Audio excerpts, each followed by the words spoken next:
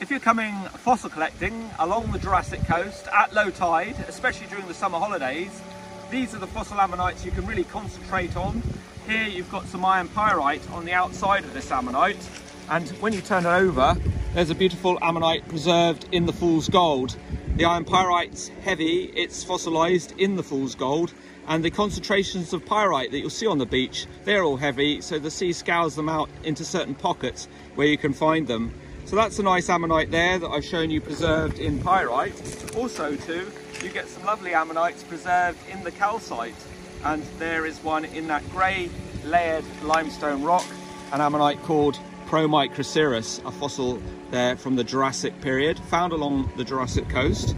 So also too, one that you might find more so anywhere on the beach are these ammonite biscuits, called so because they're very sort of thin and biscuit-like, and they're preserved in the beef rock, the fibrous calcium carbonate, an ammonite biscuit there from the Jurassic marine sediments.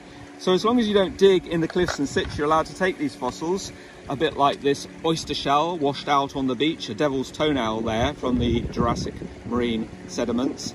And that would have sat filter feeding on the seafloor all those millions of years ago and it had that lovely lid that sometimes is fossilized with the creature.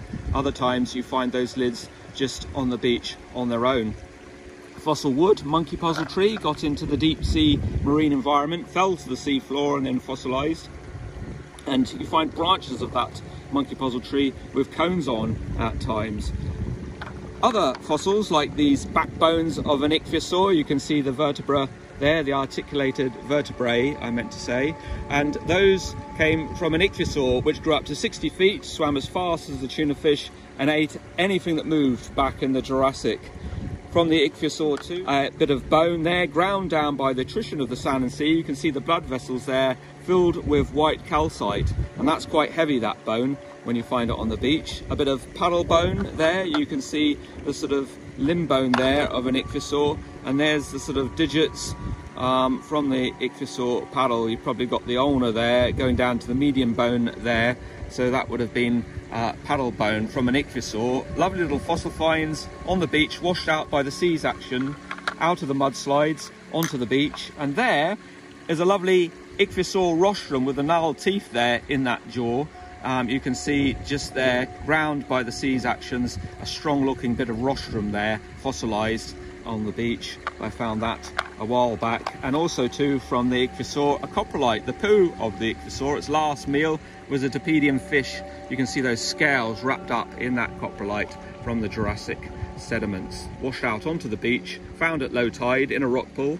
And other fossils you can find out on the beach are the calcite ammonites, like I showed you earlier, and also to the belemnites. So the guard of the sea creature, the belemnite there, and you can see the tail end there of that sea creature, a belemnite from the Jurassic.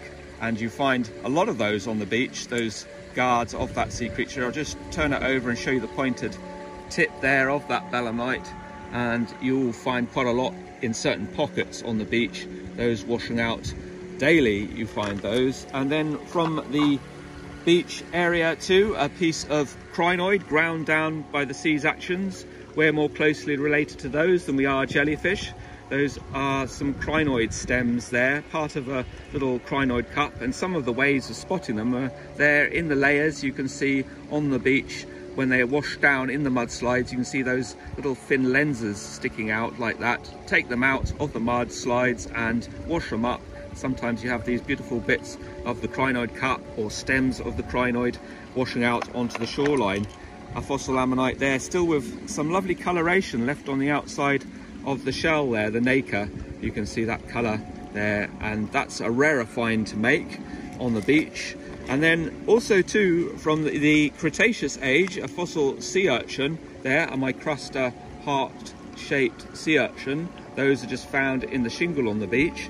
And also a lovely sponge there, would have sat up on the reef like so, a fossil sponge and that is fossilized from the Cretaceous period and those aren't that rare you find a few of those on the beach as you walk along and then some other bits that look like fossils but aren't there is a bit of the beef rock and that looks a bit like a tooth, but it's just the conal structure in the beef rock. And there are some bits of beef, almost a bit like a vertebra there, the beef rock, uh, the way it's formed. So like I said, beef rock, and then these pyrite ammonites that you find, if you're really lucky, doing a bit of sieving work on the beach, these are the real thing, an ammonite there called Promicroceras. But here is a plastic model of the ammonite and what it looked like. And that was swimming around back in the Jurassic period and it jetted out water there with a siphuncle, swimming backwards through the sea and had a really sharp beak in between the tentacles, a bit like a parrot's beak. And those were for grabbing small ichthyosaurs and fish.